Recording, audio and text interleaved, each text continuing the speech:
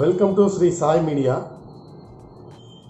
இன்றைக்கி பார்க்க போகிற தகவல் உங்களுக்கு ரொம்ப பயனுள்ளதாக இருக்கும். ஆதார் கார்டு தொலைஞ்சிருச்சுன்னா அதை நம்ம எப்படி பிளாக் பண்ணுறது அப்படிங்கிறத பற்றி தான் நம்ம இப்போ பார்க்க போகிறோம் வாங்க வீடியோக்குள்ளே போகலாம்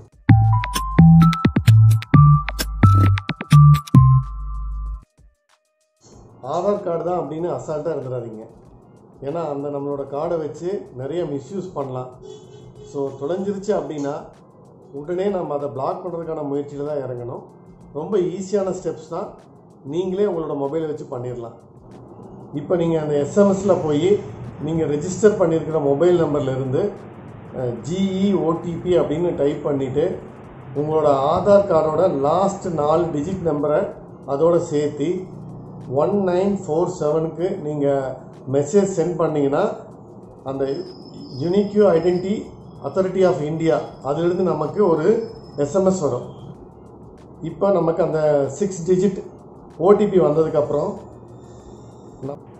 லாக் யூஐடி அப்படின்னு சொல்லி ஒரு டைப் பண்ணி அதுக்கப்புறம் அந்த ஆதாரோட லாஸ்ட் ஃபோர் டிஜிட் நம்பரையும் டைப் பண்ணி இப்போ ரீசெண்டாக நமக்கு வந்த அந்த ஓடிபி சிக்ஸ் டிஜிட் அதையும் நீங்கள் டைப் பண்ணி ஒன் நைன் ஃபோர் செவனுக்கு நீங்கள் சென்ட் பண்ணிங்கன்னா இப்போ உங்களோட ஆதார் கார்டு வந்து பிளாக் பண்ணிடுவாங்க. இந்த தகவல் உங்களுக்கு பிடிச்சிருக்குன்னு நினைக்கிறேன்.